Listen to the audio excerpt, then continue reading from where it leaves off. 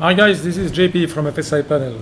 Just a quick video today to see how to use FSI Panel with the Aerosoft Airbus 320 Pro. I just got one user telling me that he had some issue flying the Aerosoft and particularly how to set the thrust lever to climb, which for some of you uh, it looks like the uh, thrust lever are not moving while we are in uh, slew mode. So let's have a look together. Today we will do two exercises. The first one is a quick approach ILS-14 in Zurich, where we don't want to set up any MCDU, just want to fly the landings. And the second scenario will be a full approach coming from a waypoint, and we will set our MCDU. So let's start, as always, with P3D on ground. I have my Raptor ready to fly. Now I will bring FSI panel. You can see on top here I have the aircraft already selected. It's the EasyJet A320 and I will go ahead and prepare this approach. So I will select Zurich. Oh sorry, before I do that I will change the weather to uh, active sky.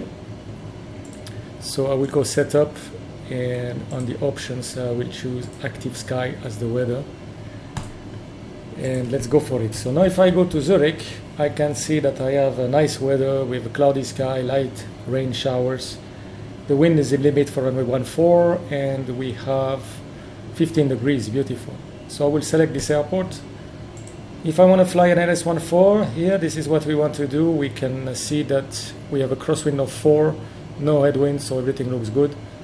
Light and variable, so I will take ILS-14 and now we can select the distance so I would like to make something in between here so I will go in the select fix and I will choose a 6 miles final 6 miles final enter I see that I should be at 3200 feet I will leave it as a default enter. And validate. So now I can see on top here that my ILS-14 6 nautical mile is prepared and we should be at 3200 feet. So let's go for it. Move aircraft. So now on the first scenario, what I will do, I will show you that uh, in uh, slew mode, my thrust lever is moving. And for some of you, apparently, it doesn't move. So let's see, it's not a big problem. You just have to uh, set your thrust lever once the aircraft is flying. So let's see that together. So now the uh, P3D is loading off flight. We should be in Zurich. That's it. As always, do not touch anything, just stand by Okay, now we are in slew mode. As you can see on top here, please set your thrust lever to climb and hit the Y key when done. So now in my case, if I move my thrust levers, as you can see, it moves. So now I will simulate that it doesn't work. So for some of you, that's the case. So we will see what happens. So what I will do, I will just basically press the Y key and then move the thrust lever to climb. So let's press the Y key. And now I move my thrust lever to climb. That's it. Now what you need to check is on your FMA, you see speed. Then you're all set. Now, as you can see here, your MCDU is being programmed by FSI panel, so do not touch anything.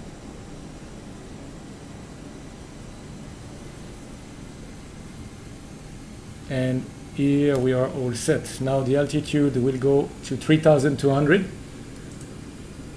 We see that we are almost there, the speed is there, we are in a landing configuration, so I will not touch anything, I'll let FSI panel do the job. I will just turn the radar off as it's giving us a lot of echoes due to this rain. So let's go for weather radar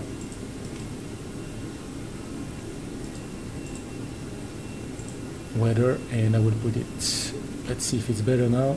Yeah. It's better for you to see the video. So we see the weather is not that bad and now FSI panel tell you please check auto autopilot mode set your FMC and when ready hold your brake to start flying. So here I just want to practice a landing so I don't need to set anything else. Everything is done for me. So the only thing I need to do is hold my brake for one second. I have control as you can see on the top left of the screen and I will arm my approach. And I will put my second autopilot just in case we need to do an auto land. So now we can see on our PFD, sorry I will try to put it down there. Okay, now how do we move that thing? Here, all right. So now we can see that we are fully stabilized. We see Cat 3 dual. Everything looks good. And we can fly our approach. So this is the first options. If you just want to practice landing, there is no need to basically set anything, even the speed. Now you can see my speed is in manage mode, as you can see here. Sorry, in, uh, in manual mode. So if I push it, I go manage and the speed will be set as well. So FSI panel has prepared that in your MCDU. So now we just have to fly this approach for uh, training purposes. As you can see on the map display, we do not have any go around. We do not have any information should we decide to go around. So here my idea was just to practice the approach and the landing without basically uh, setting everything in case of a missed approach. So let's continue this approach to a landing and then we will see how to prepare another flight, another approach where I will set the MCDU. Alright, everything looks good here. I will continue flying with the autopilot down to let's say 500 feet and then I will try manual landing. It's a long time I haven't flown this Airbus. So let's see. The rain is starting, alright.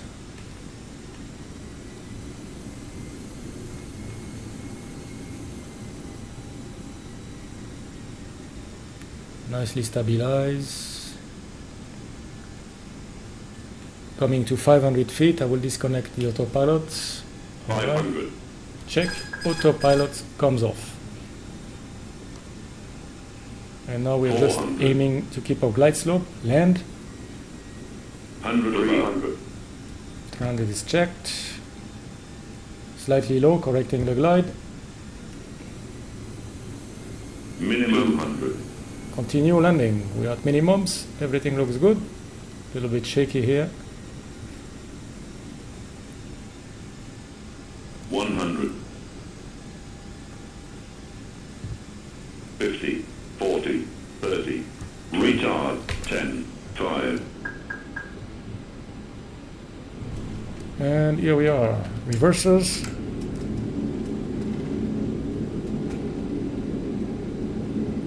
and we have completed our first landing in Zurich.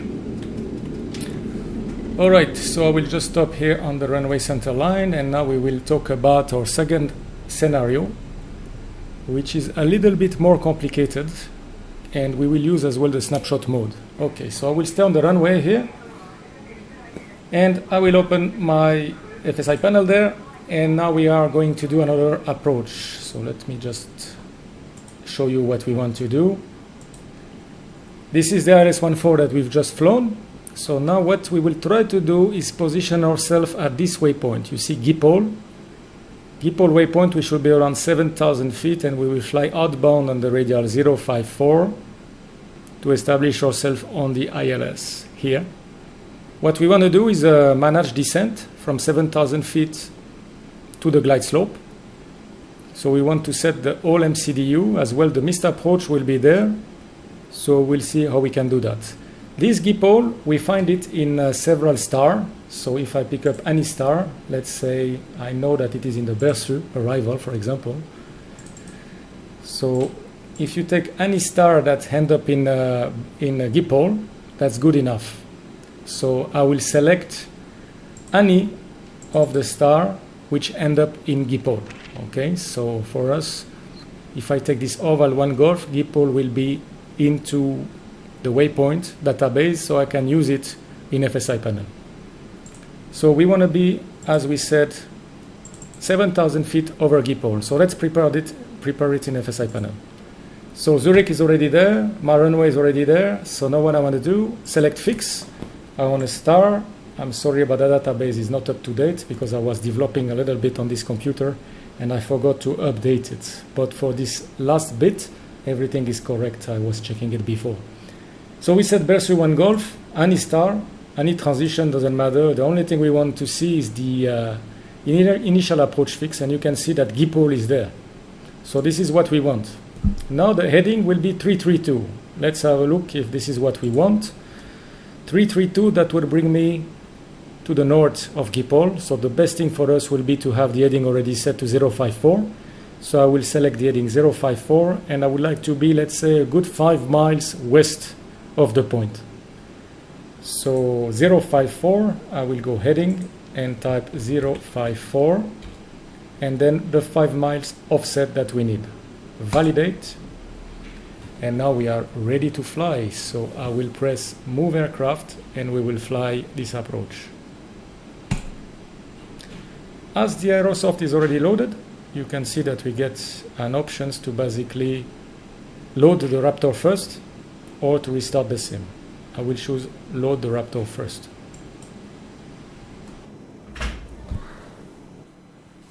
Now the Raptor is coming into view. This is to avoid any uh, crash to desktop or any uh, bad behavior from your Airbus.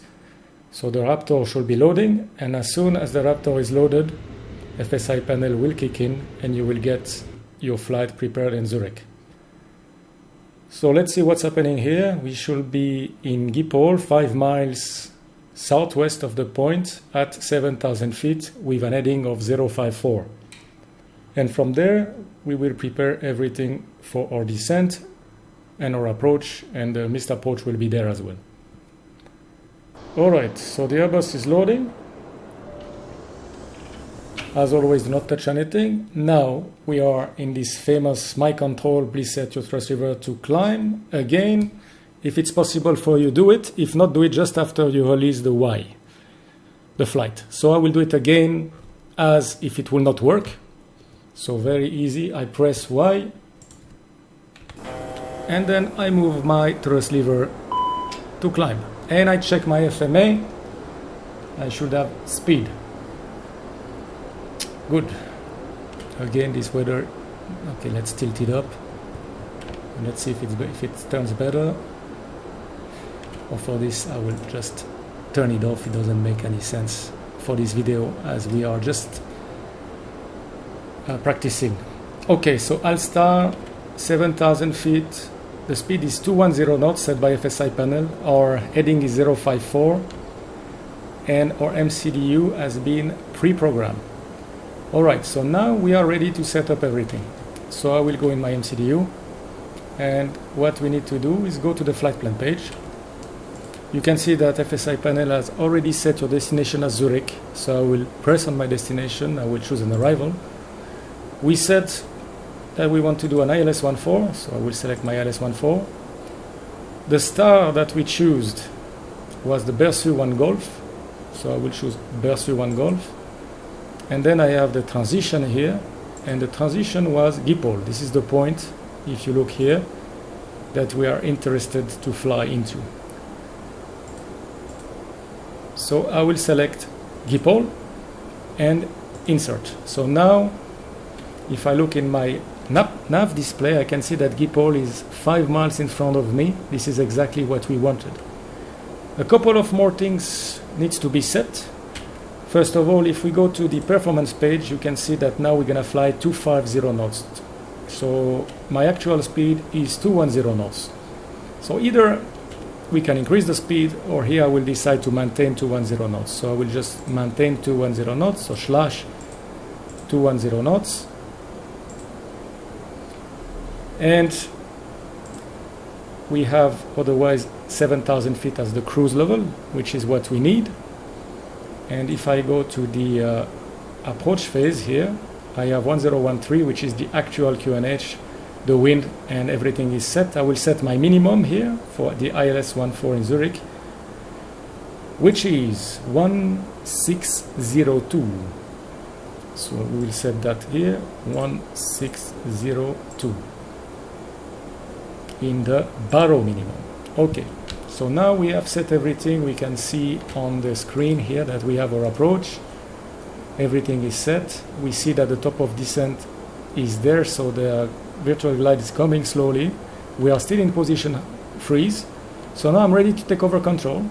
So what I will do, I will uh, take over the control by pressing the brake. I have control. And now what I need to do in my FMC I need to tell direct to the first point which you can see is Gipol as expected so I will go direct to GIPOL. Insert. We have nav, so the aircraft is going to GIPOL, and now I will give control to the speed to the FMC as well, to the MCDU. So I will give the speed, and now we have the speed at 210. So now we are in a fully managed mode, and we fly this arrival. At some point there will be a top of descent coming in, so I will need to descend as per the chart. So if we look into our chart quickly, we can see that once we pass Gipol at 7,000 feet, we have a restriction, 6,000 here at uh, 10 miles Dingle, and then we are clear to descend to 4,000 feet to intercept the localizer. So this is what we want to do. So let's have a look at this. We can see that we have passed 7,000 feet Gipol, and next 6,000 or above, and then 4,000 or above. This is our restrictions. And I will now as soon as we see the top of descent coming anytime soon I will give the clearance to the uh, MCDU to the remote control panel so ready to descend to 4000 feet for approach. So let's see. We can see that uh, the aircraft is flying nicely in IMC conditions everything is set up for us we have already the ILS and anytime soon we will see the top of descent coming. So here I will just move a little bit forward the simulation rate as I don't want to keep you too long with me here cruising. Okay, now it's coming, as we can see it's coming here. So I will set 4,000 feet in the window and we are ready to descend. So I press the button and we see that we have descent mode activated with an altitude constraint which is the 6,000 feet constraint. So now we are starting descent.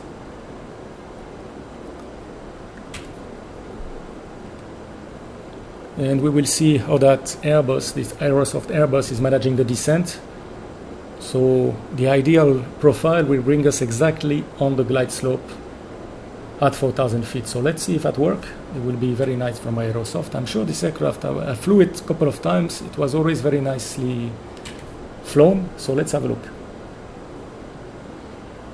We see that the profile is perfect here. I will open that one here. It's probably easier to see what's happening. Okay, there is an alt constraint. And we will continue descent now. Perfect. At some point I need to activate or check that the approach is activated, so I will do it now. If I go to my MCDU performance page, I see that I can activate the approach, so I will activate the approach.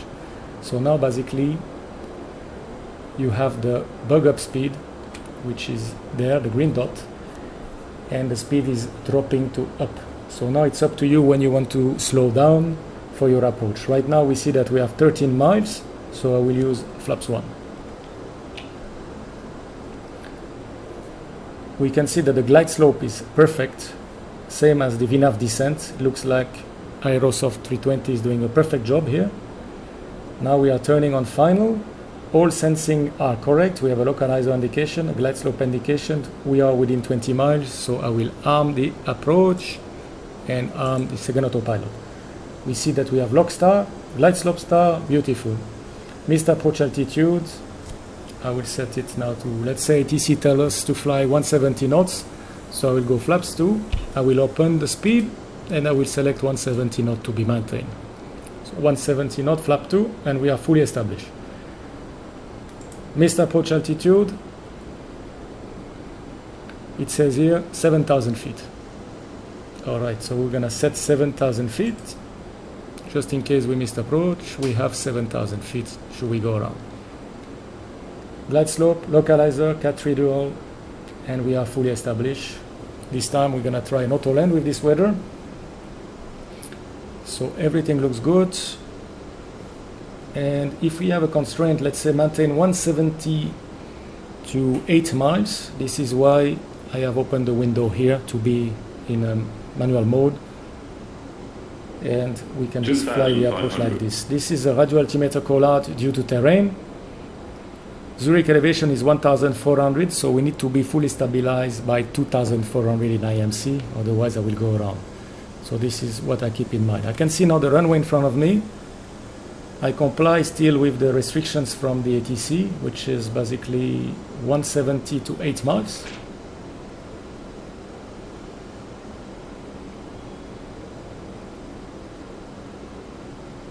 Now that I have my 8 miles, I can slow down, so I will go to manage mode. So the aircraft will slow down. Now we can add some more drag, so we'll go gear down. Flaps 3, arm speed brake. When we go gear down, check your speed, your sorry, your light as well. Runway turn on, and we're gonna set the taxi lights on. Okay, now we are 3400 and I will go flaps full.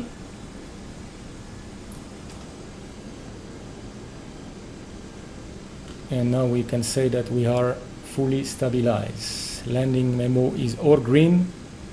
We are good and we are clear to land. Wind, if we look at the wind, 243 at 7 knots, so we are within the limit for the auto land. So let's see now how this Aerosoft is performing on this auto land.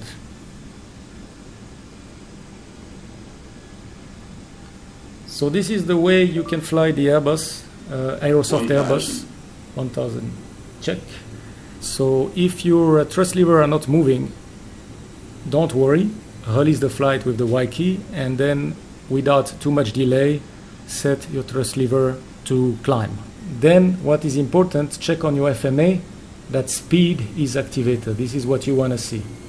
Then you're all set. Then you can do exactly what we've done in this video and fly your approaches.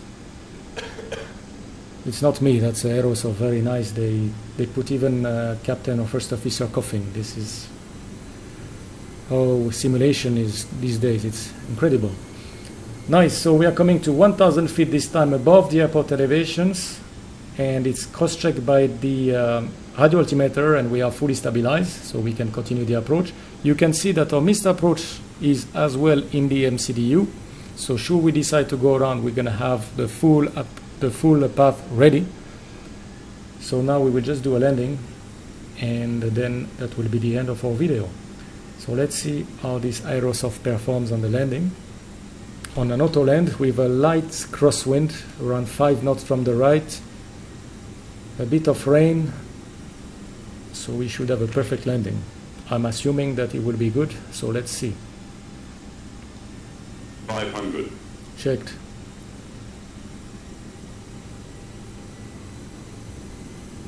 Four hundred, land. So we are all good. 2 and 2 on the Papi. Three hundred, all sensing looks good. Continue we are below minimum now. Hundred above, as we are flying a Cat 1 with an auto land and now let's see the 200. handling by Aerosoft of this landing. One hundred,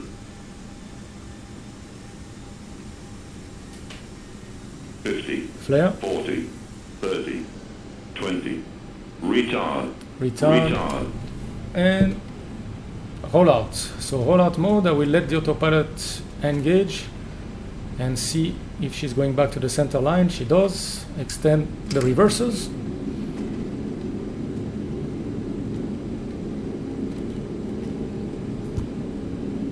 Sixty knots. I will take autopilot off and I have control on the aircraft. That's it guys. This was a quick video to show you how to fly Aerosoft A320, 321, 318 and 319 with FSI panel. Hope you like it. If you have any question, please post below and I will answer. Thank you guys and as always, safe landing. See you next time.